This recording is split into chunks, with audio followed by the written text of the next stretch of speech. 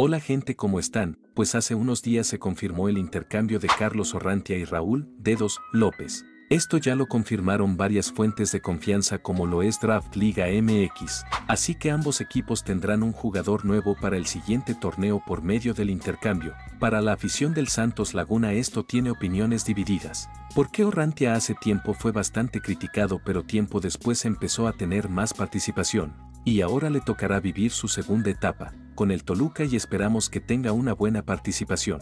En cuanto a Raúl López lo veo como un refuerzo algo interesante que puede aportar al equipo y espero que sea así.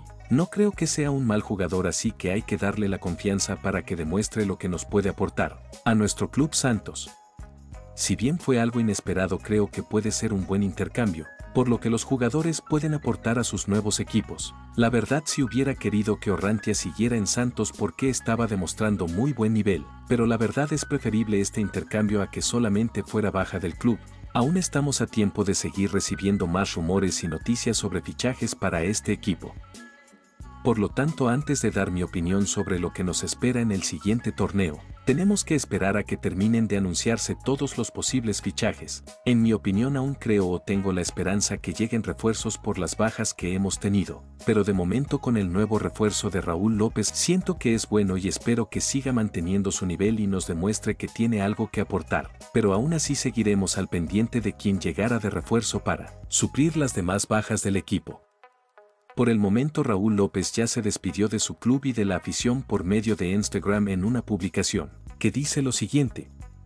Hoy me toca despedirme de este gran club, no tengo más que palabras de agradecimiento para el Deportivo Toluca.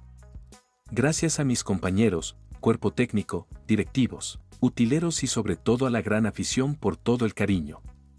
Fueron dos años y medio de defender este escudo que siempre lo voy a llevar en el corazón, les deseo lo mejor por lo que entendemos que este refuerzo es más que oficial de igual forma conforme vayan surgiendo los rumores. Trataré de traerlos al canal lo antes posible, así que estén pendientes al canal. Sin más que decir eso es todo por el momento, deja tu like si te gustó el vídeo esto me ayuda a seguir trayendo más vídeos como este, nos vemos hasta la próxima adiós.